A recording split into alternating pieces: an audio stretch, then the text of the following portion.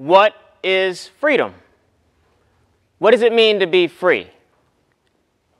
It seems that definition varies between you and me. But should it? Martin Luther King's dream achievable? Could it? Or is it a nightmare to keep us right there, arguing over evil, debating what's good, whitewashing the Bible in the very place we stood? Considered a thug because my sweatshirt has a hood. But they love to use our slang. My bad, it's all good. It seems I'm free to entertain as long as I stay in my lane and stand for a song written by a slave owner. Ain't that a shame? Jesse Owens embarrassed Hitler, won those gold medals for all of us, and came back to America and had to sit at the back of the bus. Cassius Clay, 1960, won a gold medal for Rome. and still considered a second class citizen when he came home. Dabo Swinney said, Hey, black people got it good. And he should know. He's made millions off the hood. White coaches make millions from recruiting black children. Blow out your knee, it's okay. They'll find another one to fill in. So, honestly, what does it mean to be free? Thank you.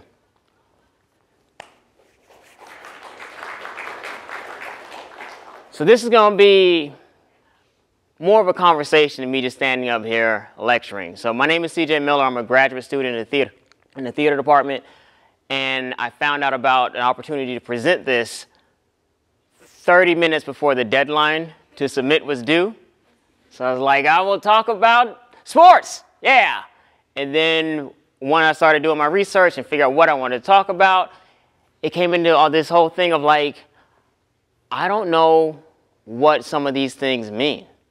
Like, I think America is incredibly problematic in how we do sports, especially on the collegiate level, and how we treat people. Things don't make sense, and I don't have answers. So I figured that I would make this. I have some questions, I have some thoughts, I have some feelings. I'm sure you all have some thoughts and feelings, and maybe we can come up with some answers. That sound good to y'all? All right, so I might not be all up here. I might be down there, be all over the place. So let's get this started. So I started with the question, what is freedom? What does it mean to be free? And I posted it on my Facebook page a few days ago and asked people, all right, what do you think it means to be free? And had some interesting responses. So one of the responses was, living comfortably in the absence of fear. Sounds good the ability to live life as you see fit. Eh, yeah, I can get down with that too. Anybody have any ideas on what freedom is or what it means to be free? Anyone? You in the back. so I was thinking of what it means to be free, and I, I thought about like, so the first thing as an African American, when I think about what it means to be free, I think about slavery being abolished and you're not a slave. But is that all there is, though? Like, if, if I'm not allowed to attend the college that I got accepted into because I have the grades, because of the color of my skin, is that freedom? I don't know. What do y'all think? Anybody? Show of hands if you think that's freedom. Show of hands if you think that that's not freedom. All right, so everybody's listening. Okay, that's cool. I don't know, but what if so? Is the college allowed to have set rules on who they let in, though? Is an organization allowed to set rules on are they free to let who to admit who they want to? Anybody? Thoughts? Okay. I don't know, y'all. I seriously don't know. My first thought is like, yeah, that's not freedom. But at the same time, how am I supposed to tell someone how to live their life? But if it's an organization that's about higher knowledge and learning, then that should be something too. I don't know. Let's see. Anybody know who this is? Yes, sir. Jesse Owens. Jesse Owens. Good job. What's your name? Michael, thank you. Jesse Owens. Michael, what do you know about Jesse Owens? Uh, African-American sprinter. I think he was in 1936 Olympics. Look at that, dude. yeah. Right? Yeah, 36 Olympics. So what was the big deal about, what was happening in 1936? Anybody know? What was going on in the world? World War II. World War II. What's your name? Caroline. Caroline, thank you. World War II was going on. And who was America, who were the big bad bad guys that America was trying to take down in World War II? Anybody? Germany. Yeah, Japan, but that doesn't fit for my story, so I'm to just stick with Germany. Germany! And they had this dude named Adolf Hitler who believed in this big Aryan supremacy thing of white people were the most dominant and everything. And Jesse Owens went over there and whooped ass and embarrassed Hitler. And Hitler had to like just take that and deal with it. So the thing that was so crazy is, see if we can find this. So here he is on, on, on the medal stand. So you have Jesse Owens, gold medal winner. You had this man, uh, Lutz Long, German, came in, in uh, second, so he had a silver medal. And then Naoto Tajima from Japan came in bronze, or third, so it was bronze. So Toyota Najima went back to his home in Japan. He was considered a hero. Everybody loved him. My man that came in second with the Nazi salute here, German homeboy, everybody loved him, went off to be a war hero. And then you had Jesse Owens, who was not invited by Franklin Delano Roosevelt to the White House. But it wasn't just Jesse Owens, though. FDR didn't have any of the black Olympians to the White House. He only invited the white Olympians to come to the White House. So it's like, yo, what do you have to do to get respect if you're African American?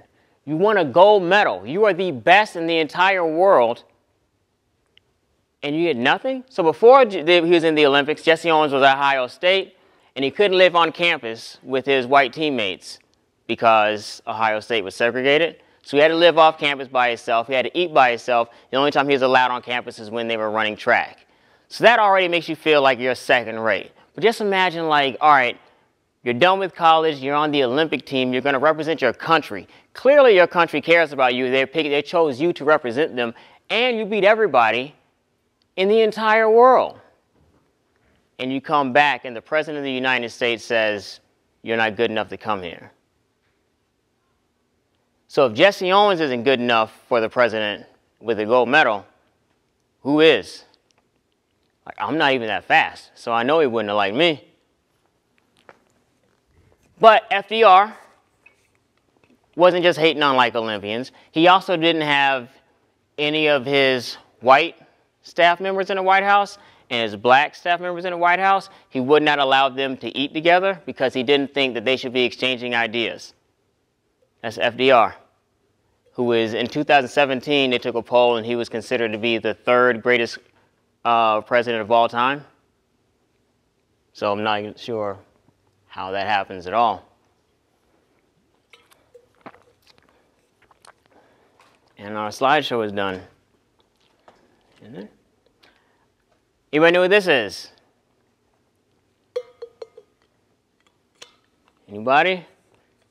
Let's think. Anybody know what? Guess the sport. Oh, so now she's gone. So, guess the sport.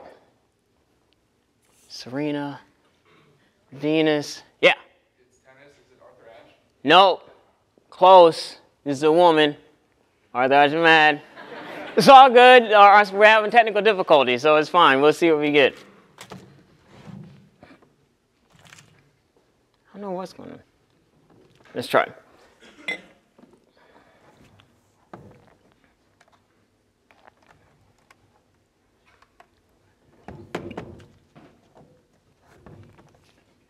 Okay, we have a slideshow. If it comes back, it comes back. If it doesn't, show. So Althea Gibson. Anybody know who Althea Gibson is?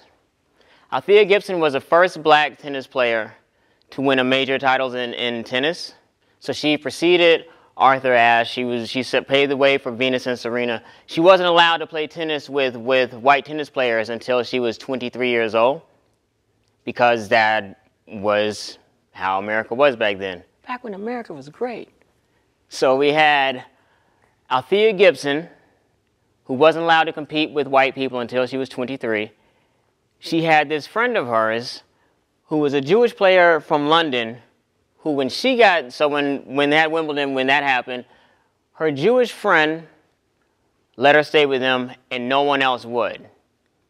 So she got banned from tennis clubs ever, and her Jewish friend said she knew what it like to be, to be discriminated against because she was Jewish. So that's why she looked out for her. But the question I always thought was like, how come nobody else was looking out for her?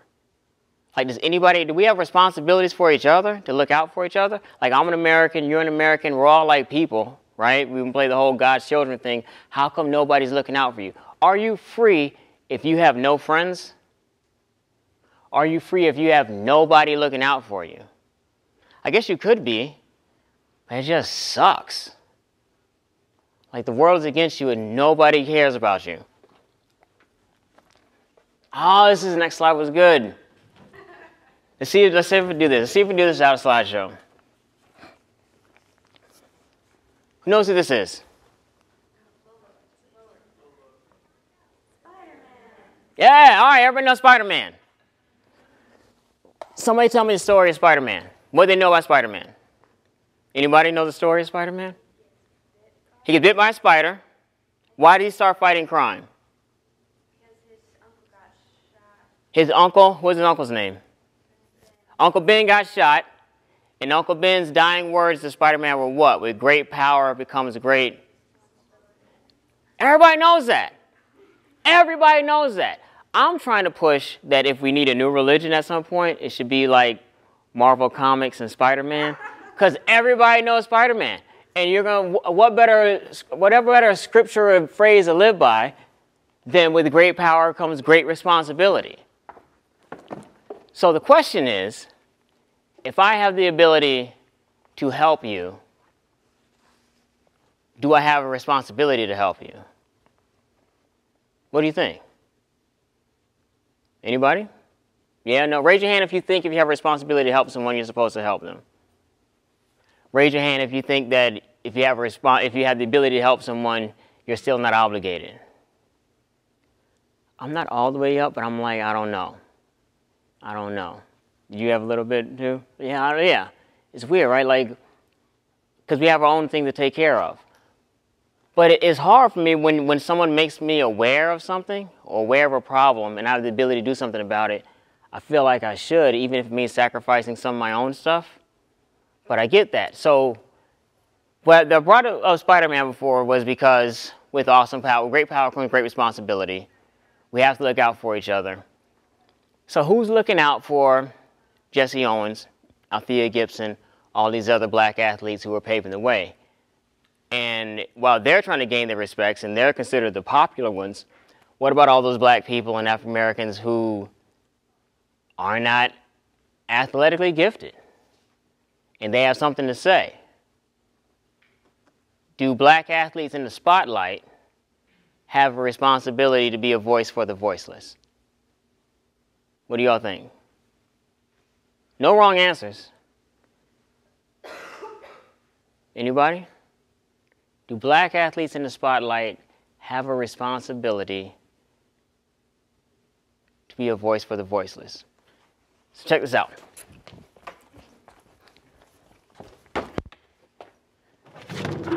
So over the summer, I was working at a work study job, and I spent a lot of time over in uh, in SAC, and I filled out these comment cards, are uh, these comment cards.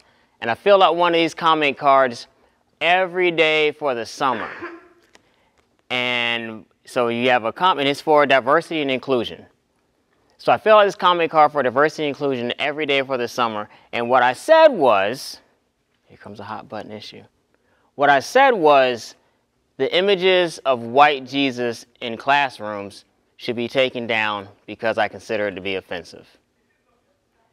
And what I and at the bottom of it, it says, if you leave your name and email on the card, you'll be contacted with.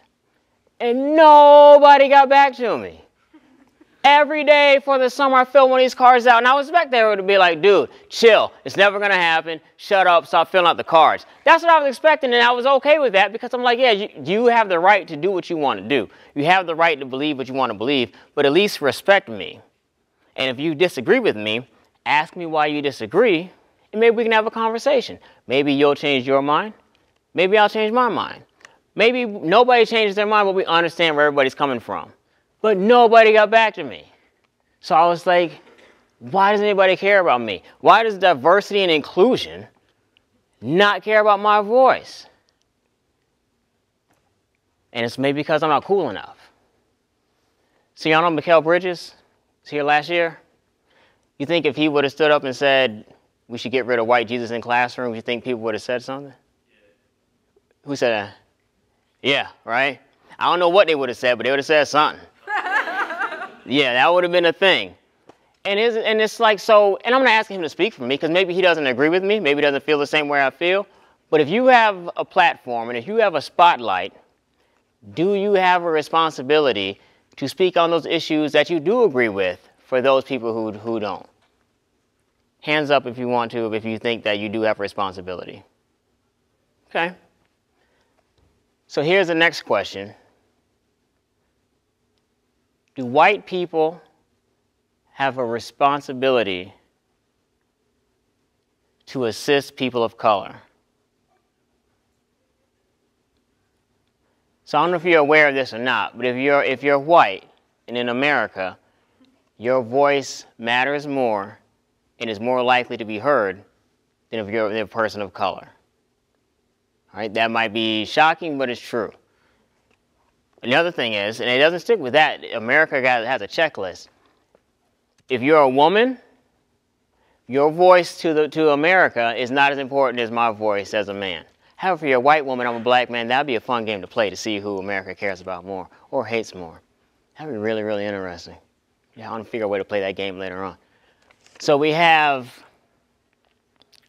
yeah, so you have a platform. You have a voice that I don't have. So do you have, do anybody feel you have a responsibility to speak on behalf?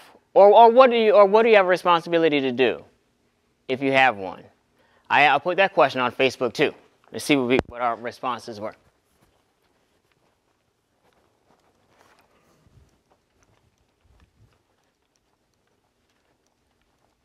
So one of the responses I got from my Facebook friends also, all the answers were from white people. I wanted to hear what white people had to say about this if I'm asking white people questions.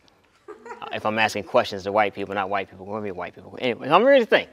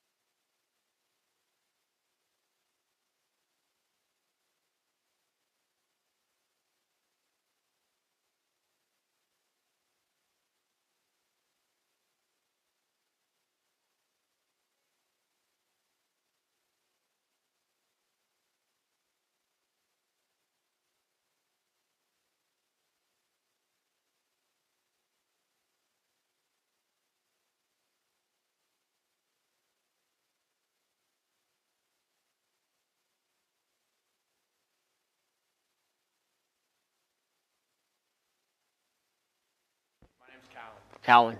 I chose it because I thought, uh, like, not everyone's comfortable, maybe like doing, like, really like being outspoken about a topic like that. But I think to at least like have someone's back who is is important.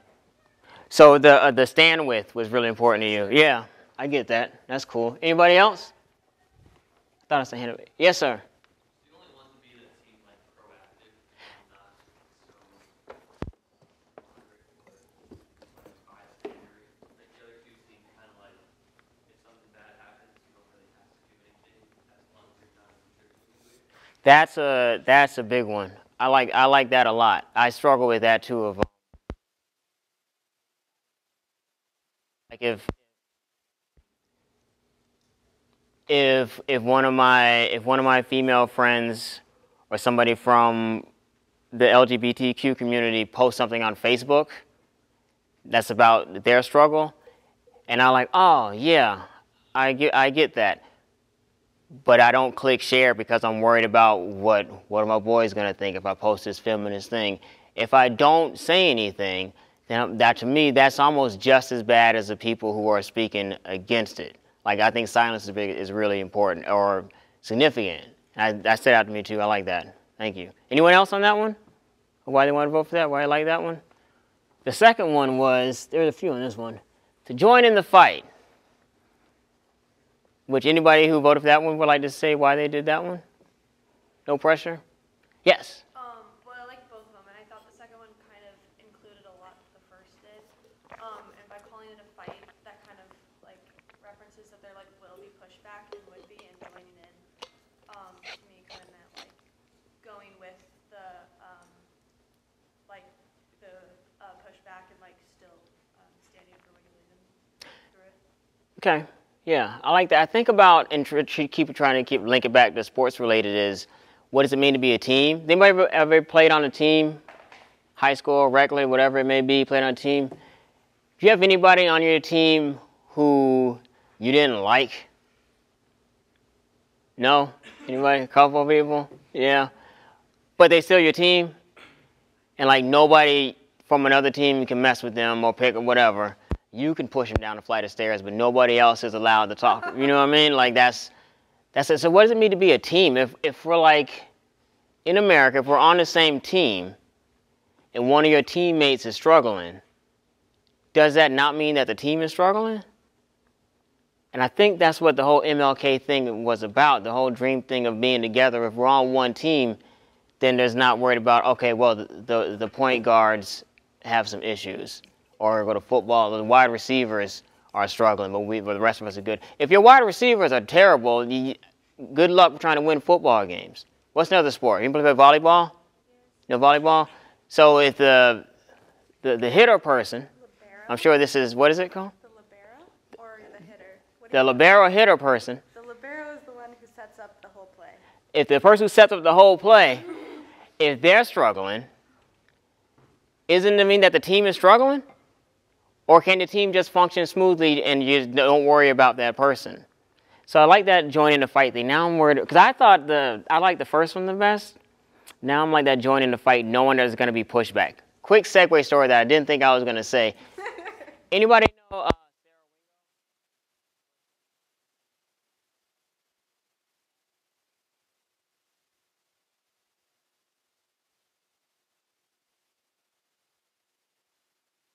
white woman in library, and I to, for help with research.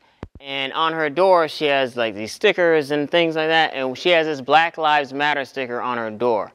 And y'all, I'm telling y'all, when I walked in, I didn't realize how much tension I carry in my body as a person of color on this campus until like I saw a Black Lives Matter sticker on a white woman's office door and was like, okay, this is. It was this weird thing. I'm like, okay, this is someone who did not have to join in the fight and chose to put it out there because she sees me as a teammate. I'm a human being. I'm Villanova. She's Villanova. We look out for each other. And she'd never met me before. But just putting that out there because I know a lot of people that feel like, yeah, they think Black Lives Matter, but they won't say that publicly because they're worried about, we call it pushback. They're worried about the pushback they receive. I know a lot of men who have been in situations. I didn't. I was. I remember when I was younger, hearing men talk talk horribly and objectifying women and saying nothing. And I said nothing because I was worried about not having their acceptance or what they would think about me if I tried to shut that down. So like so what is that? Like what if so what if my what if my mom watched that was able to watch that whole thing happen and saw me say nothing? Or my sister saw that, or my daughter saw that. So what if you and you it's not even have like black friends. If you had someone to say like someone said, "Hey, do you think Black Lives Matter?" and you're like, "I'm not going to say that because I'm worried about pushback for it." Like I don't know, that's like really weird that you won't acknowledge like facts because we're worried about that. But that's how the fight is. And I think for me, joining in the fight for like if a teammate is struggling, whatever it is. Tell me your name again. Cowan. Cowan. So if Cowan's struggling, what what are classes you got? Uh, Cap. What what classes you got that are like that are hard? Um, Can Calc three. Calc three. That sounds awful. So if he's struggling in, in a Calc three, and I feel like I want to help him somehow, but I'm like, ah, I don't. That sounds hard. I got to dedicate my time and see what I can do and reach out, whatever. And I'm like, I don't want to do that because it'll discomfort me. I mean, he's in the class.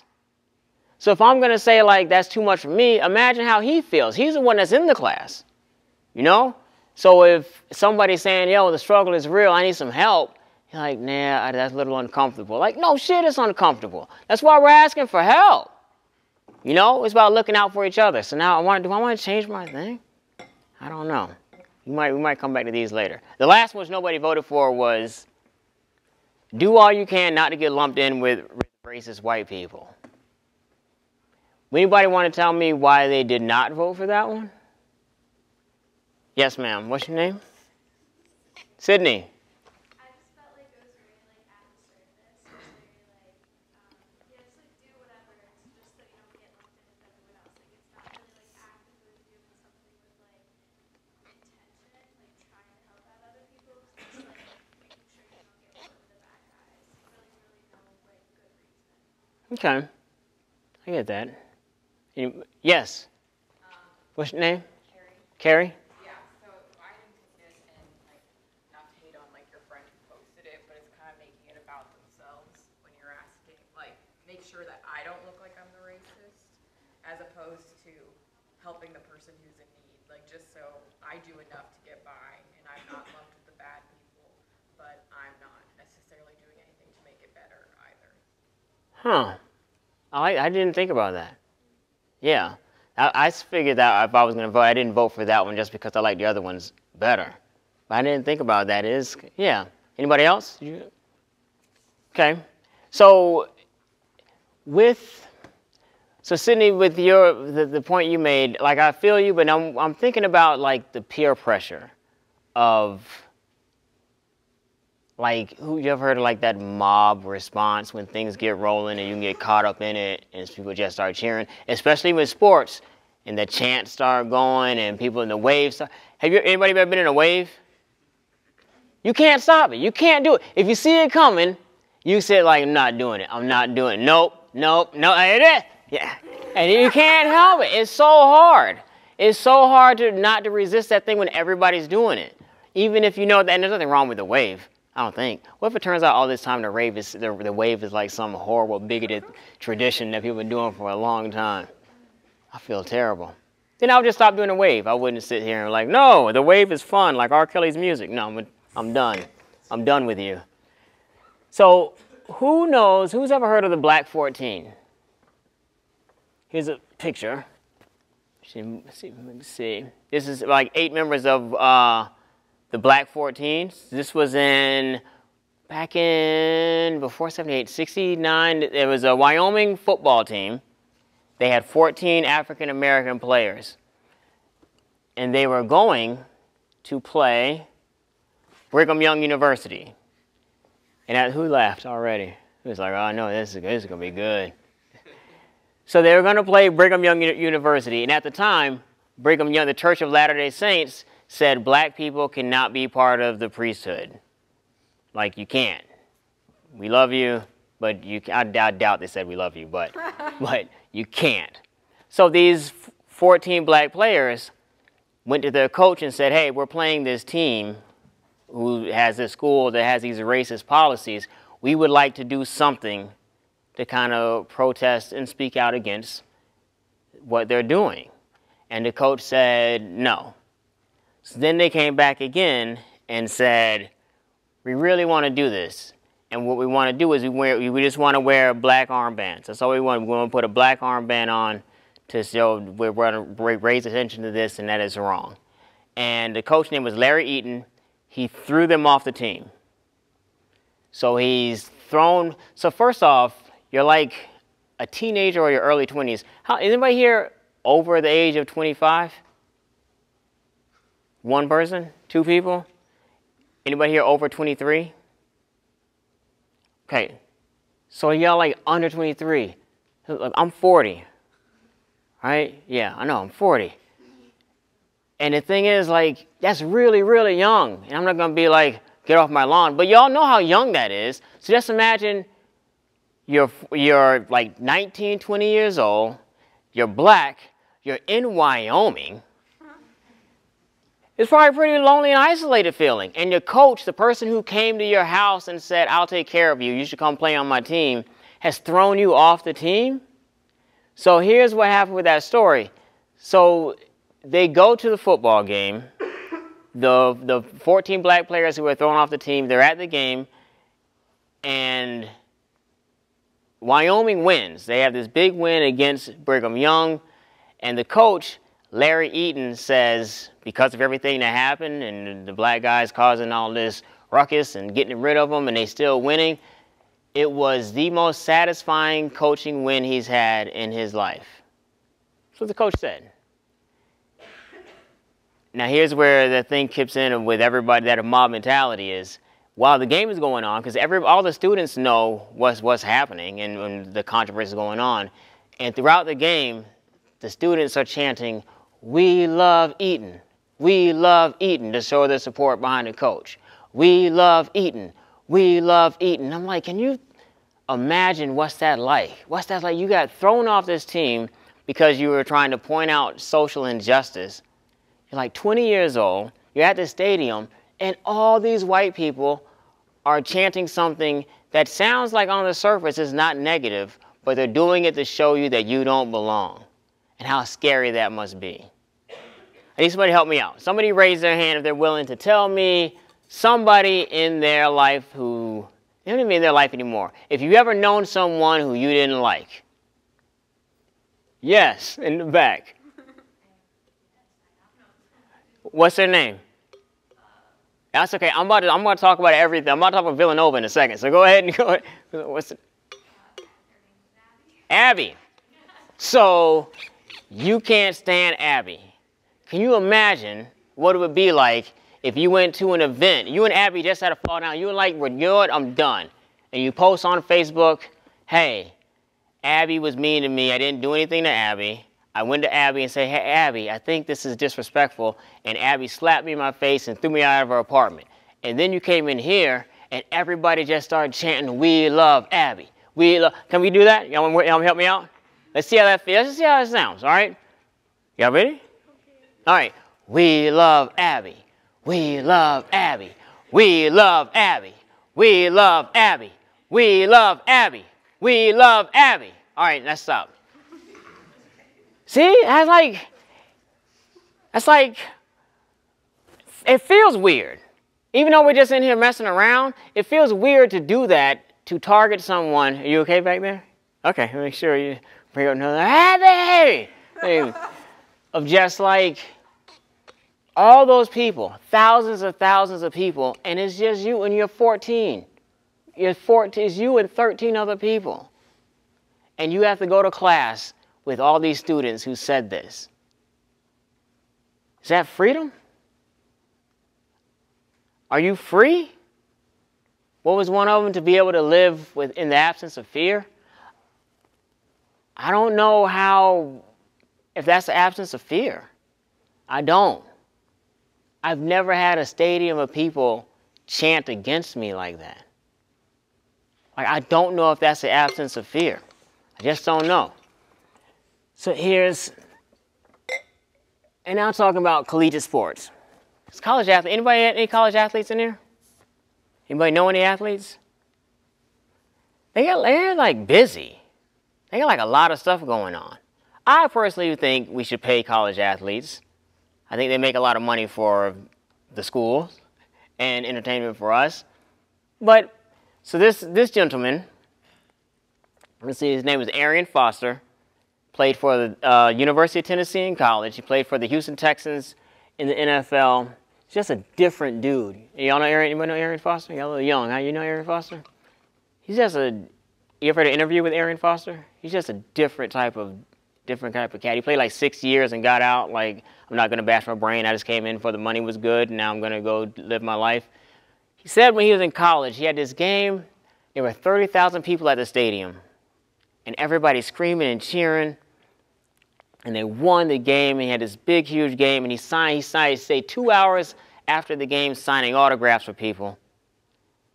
And there's all these vendors there and the coaches are there, and all these people selling things. There's people who were selling all these tickets and merchandise. He's signing jerseys for people. They're turning around and selling the jerseys, and he's like feeling really good. Like, look at all these people who are like here supporting me. And then he said he went back to his dorm room and he didn't have any food in his refrigerator. And it was like, something's not right. Like we have to at least admit that's a little weird. Like that everybody's getting paid except for the for the workforce.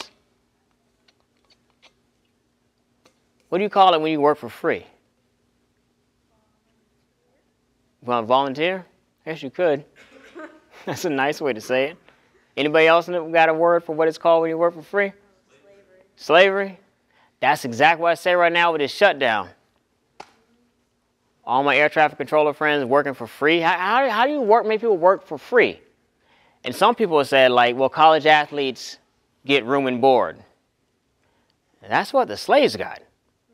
Slaves got room and board too. So what's the difference? They got an education? Guess, is education worth that much? What would you rather have, a degree from Villanova or $30 million?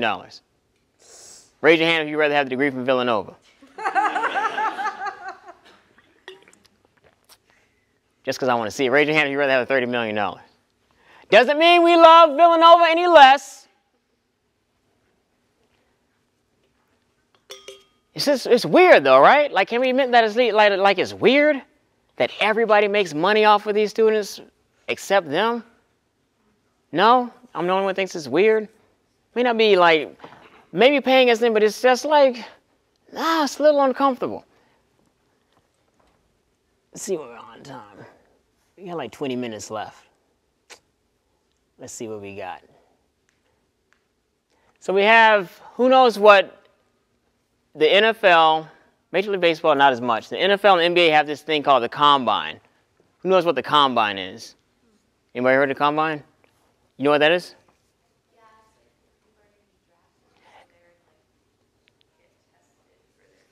Yeah, yeah, yeah. So everyone who enters a draft they're there and you get, they check your height and your weight and they make you run, see how fast you are. You gotta jump up and hit some sticks and lift some weights and do all this stuff and everybody can just check you out, right? And like no lie, it, it looks like a slave auction. So they had these slave auctions back in the day where they would bring all these slaves up and they would have the slaves standing there and people would examine their height and the people who owned the slaves would tell you how much they could lift and how strong they were, and then people picked which slave they wanted. And people would now say like, CJ, you can't compare the NFL auction and NFL to slavery and, and because that's like comparing apples and oranges. So let's do that, all right? So you have an apple, right? So apples and oranges. Apples are round, oranges are round, they grow on trees. They're both fruit. They're good for you. They both are used to make popular juices. And I'll be honest, let's see if you can see it from here. So here's a picture. Let's see if we, let's see if we can do this. Let's try this one more time before the thing to see if it's going to happen. If not, just come down.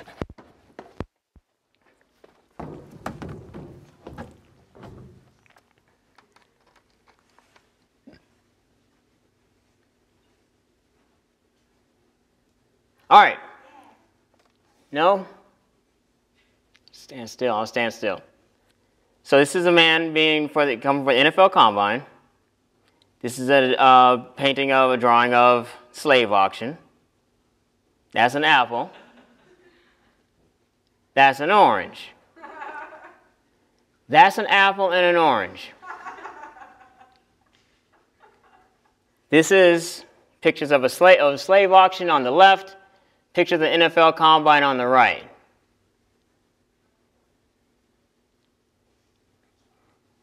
You tell me which things look more similar. So is this freedom? When you get a lot of money, right? If you're like one of them, I don't know any of these dudes, so I'm assuming none of these dudes got drafted. But is that is it freedom though? I don't know. Like freedom to do what? Here's our last thing we were going to talk about. So we have, come back. This is Villanova's, Villanova's current uh, demographic. Population is 65% white, 35% POC.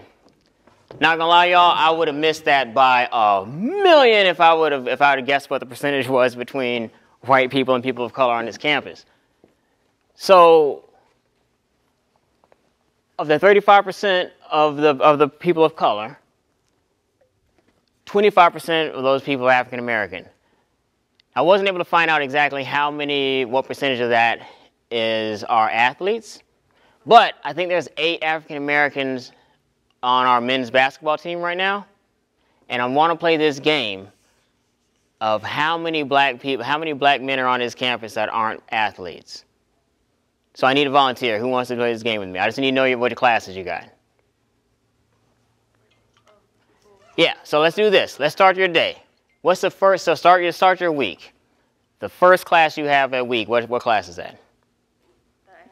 Yeah. Thermal what? Thermal fluids. Thermal fluids. Y'all are smart. Cal through thermal fluids. How many African American men are in your class? Uh, I think one. One. He- Is, he- is he an athlete? Doesn't count. He's an right, count. Let's go next. Sorry, next class. Um, sustainability. Sustainability. How many African American men? I don't think there's any. All right, next class. Manufacturing. Manufacturing. How many? One. Any other classes? Uh, the next class is Okay. and he's not an athlete. Two? So we got two? Oh, the same guy? Same person. Okay. We any any other any other one? Any other class? All right. I want to see how many class, how many people we get to before we can get to the same amount of black guys on the basketball team that we have in class. Anybody else want to give me what class they got? I tell you, it's gonna be awkward in here, but it's how we grow. Theories of persuasion, Uh huh. and I think there was one African American male in my class who's not an athlete. Two. Okay. The second class is public speaking. There's five, and they're all athletes. Okay. Um, Not hating the athletes. I just want to show. I want representation. We're not all athletes. Like, look at me. I'm just cute and funny. That's all I. That's all I got going for me. then I have theology. There's none. None. Okay. Um, then I have my ancients class. There's none. None. Okay. And then I have social psychology. No. None. We can get to eight, y'all. We can get to eight. Anybody else? Yes.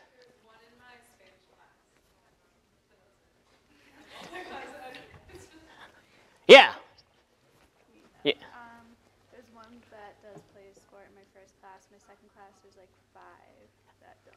Five that don't play sports. Four That don't. Four that play. We're at seven. We need one more. And then I have one in a different class. I got one in my English class and one in my English class. Nine. One, two, three, four. We went through.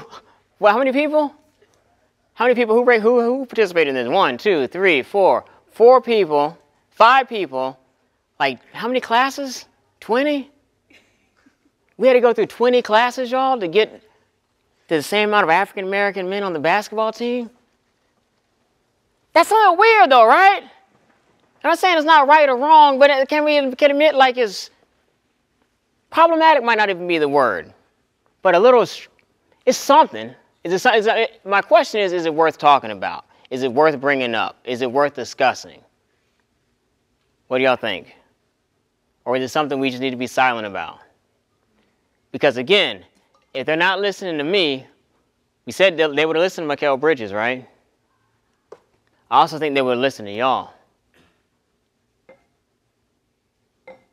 We on the same team, right? We on the same team. We got to start being teammates. I think freedom. I like the the freedom is living within the absence of fear. And I don't always feel safe on this campus. And I think it's be, and I don't think it's because the majority of people on this campus are racist. I don't think that at all. I think there's probably very few people on this campus that are racist. But my, but I'm concerned about the people who are not racist, will they stand up and say something?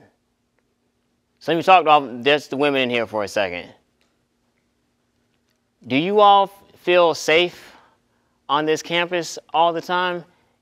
And would you feel safer if more men were black plastering all kinds of stuff, feminist stuff on their Facebook pages, and you had hashtag Me Too in Windows instead of whatever thing that people have in Windows? Like if you had more people, if you had more men advocating for you, would that make you feel a little safer?